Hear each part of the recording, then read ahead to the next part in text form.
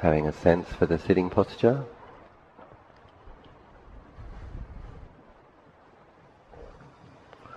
Just aware that the body is sitting.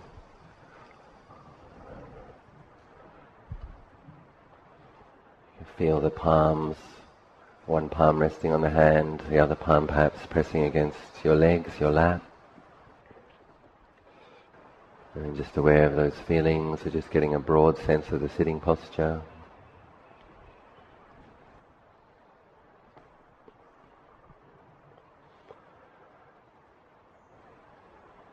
And then feeling your bottom and your thighs touching the mat, the cushion, just feeling the pressure, aware of the surface beneath, and just aware of those physical feelings, aware of the body.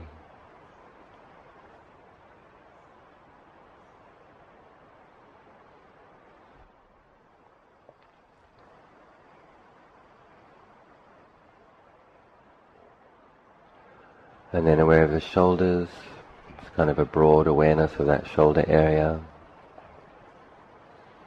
If there's any tension, consciously relaxing, just relaxing those shoulders.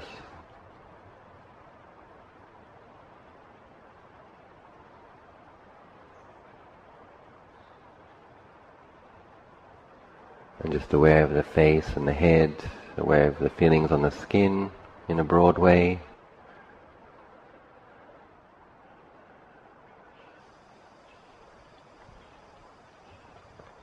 And now we turn to the breath and initially trying to know the entire breath, nose, chest, abdomen, abdomen, chest, nose.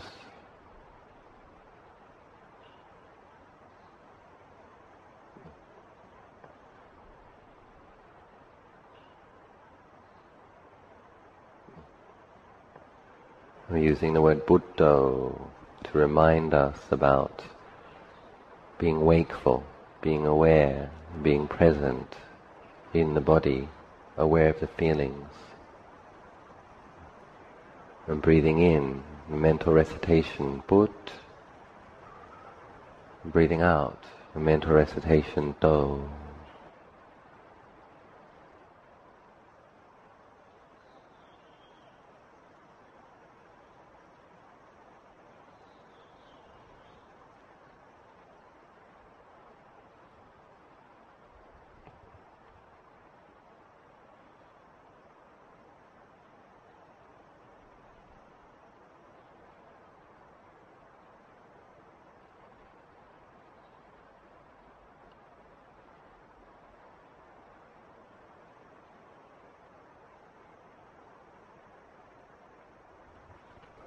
Using Buddho to maintain a consistent awareness, making the mindfulness clear, steady, consistent.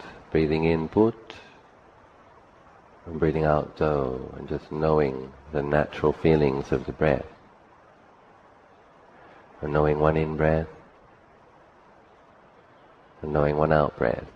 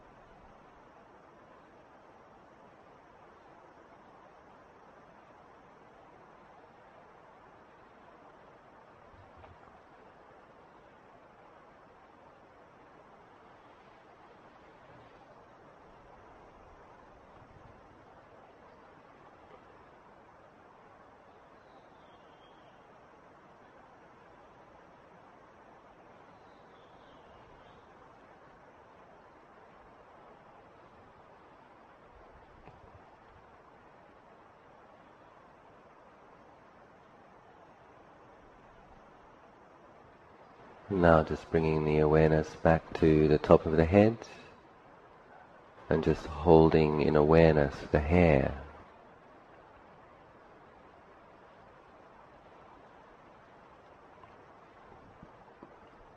Investigating its quality a little, just seeing that it's dry.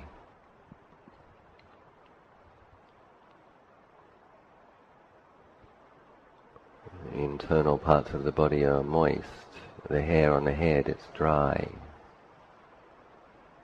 Unless you wet it.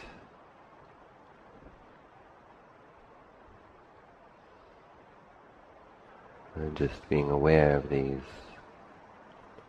many strands on top of the head and just knowing the nature of hair as one part of the body.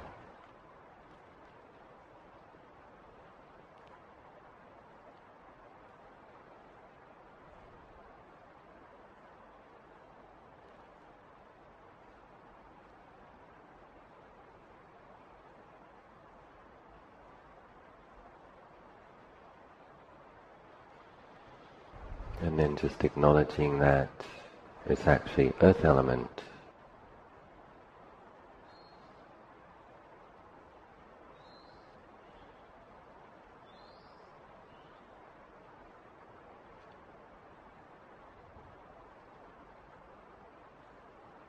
And just aware of hair on the head as earth element.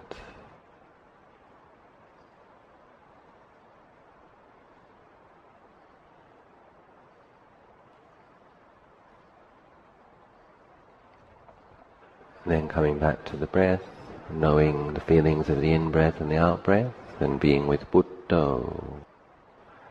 Breathing in Bud, breathing out Do.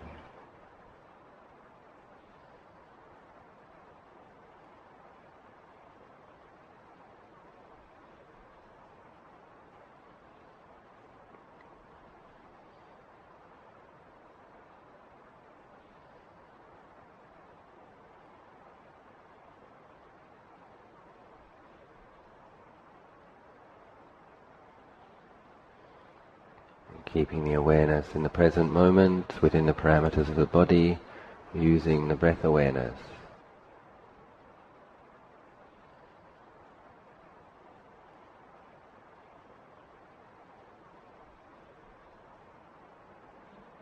Staying centered, present.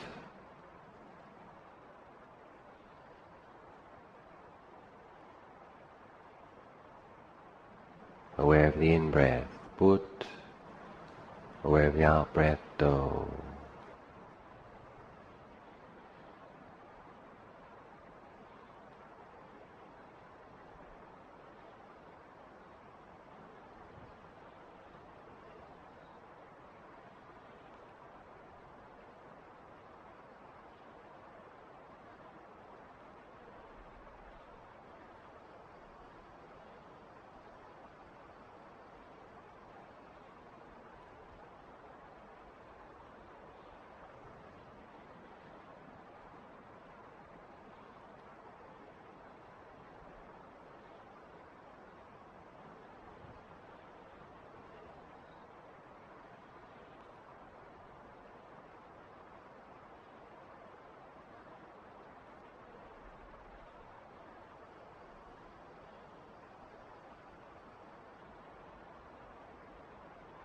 Now bringing your awareness to your fingernails.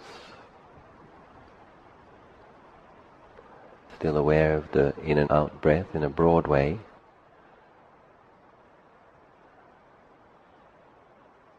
But considering the nails.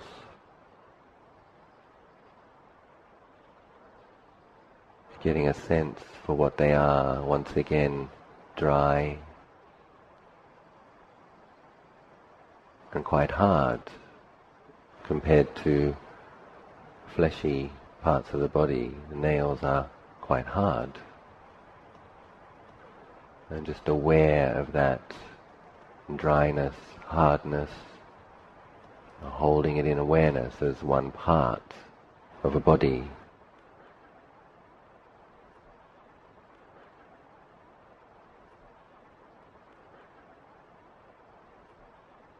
and trying to see it as separate from the other parts for the sake of the contemplation, just holding the awareness of the nails in the mind.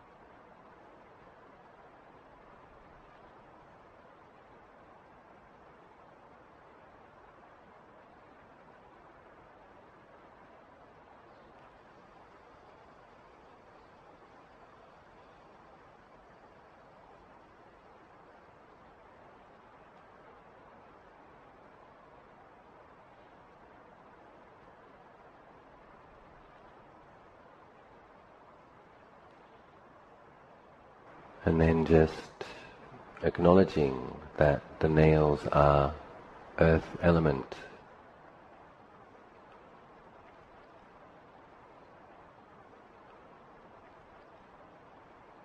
If the body were to die in the forest, then the nails would slowly disintegrate and become earth.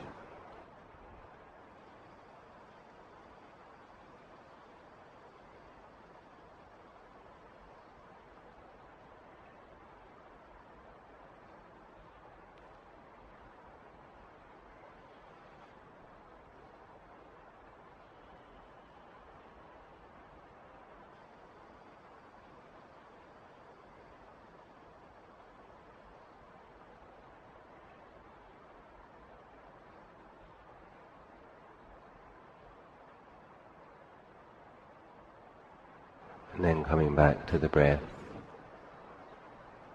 maintaining the clarity of mindfulness and the clarity of knowing, resting in the awareness of the feelings of the natural breath, and breathing in Bud, breathing out Do, gentle mental recitation.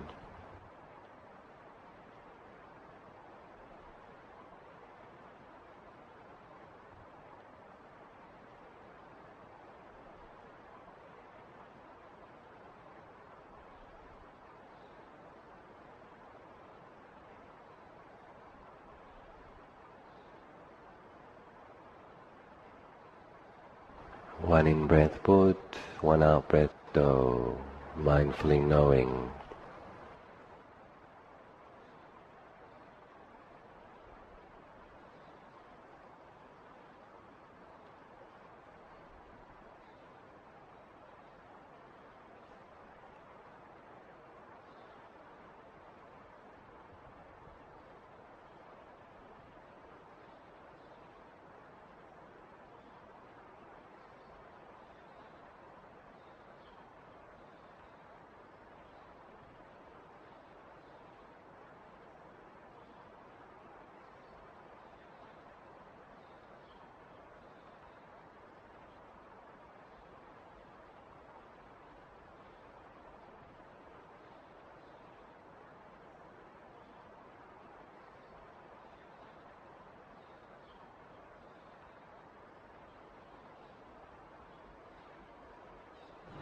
And now I ask you to bring your awareness to the teeth, the teeth in your mouth.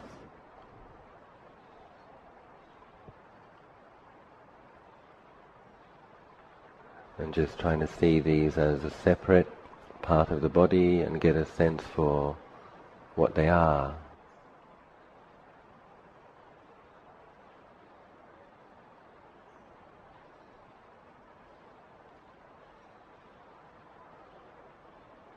Noticing the hardness.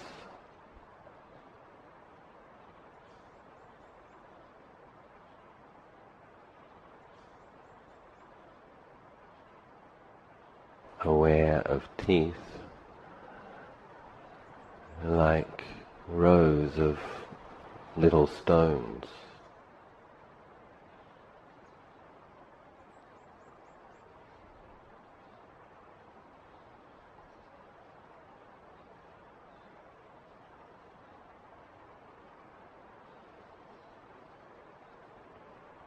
And just aware of them.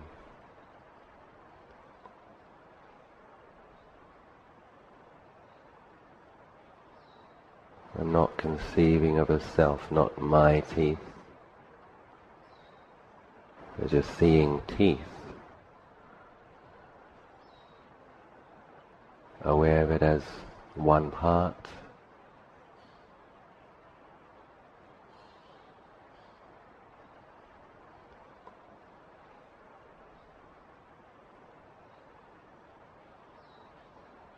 And then once again acknowledging the teeth are composed of earth element.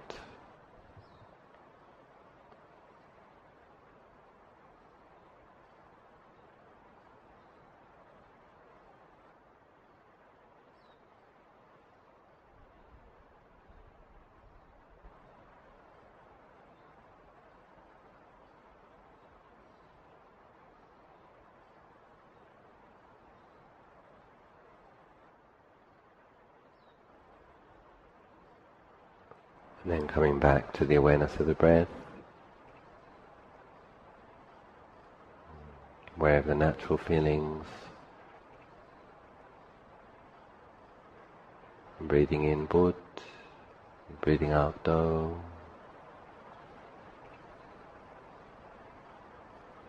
Maintaining a consistent, clear knowing, awareness of the feelings, the natural breath, one in breath and one out breath.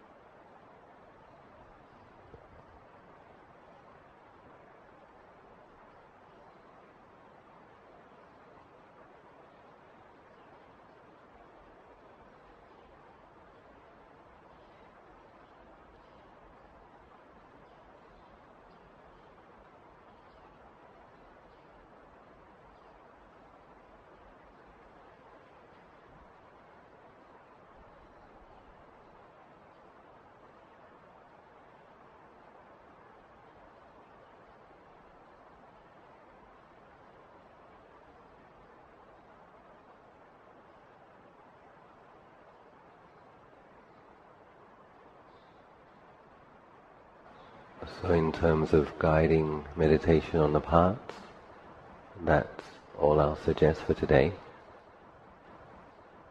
If anybody on their own wants to take the contemplation further, it's uh, possible to bring to perception a skull or the backbone or the rib cage or the whole skeleton, investigating this earth element, investigating the nature of bones. You can do that if you want to.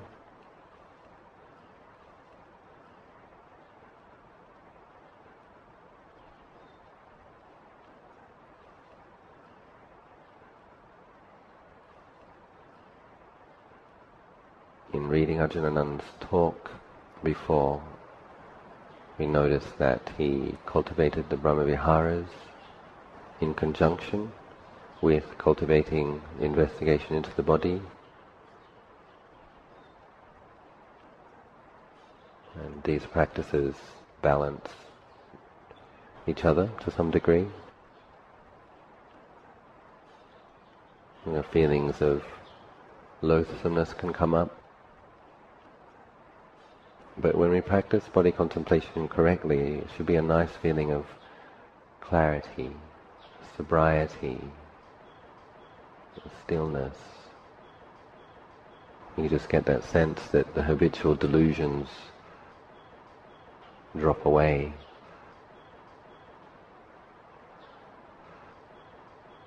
And the mind is peaceful when it lets go of its belief and grasping that bodies are beautiful, that they'll stay young. Just seeing them as made up of parts,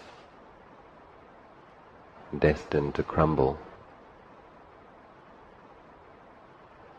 We accept this, and the mind can become very peaceful.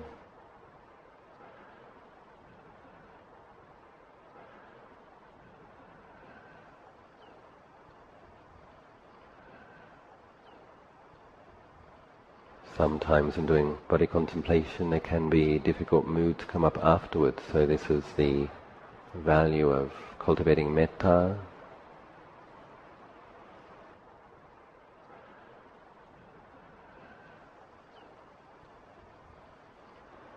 And Ajahn also had an insight into the value of chanting, the pujas,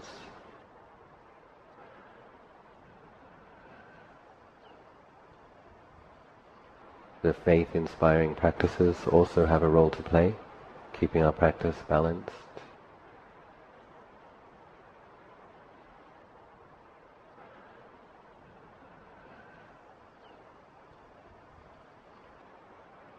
balancing our practice with faith, energy, effort,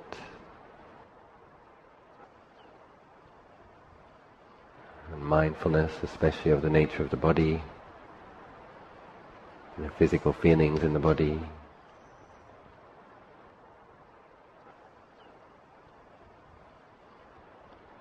So just continuing the awareness of breathing. If anyone would like to do some walking meditation, that's okay too.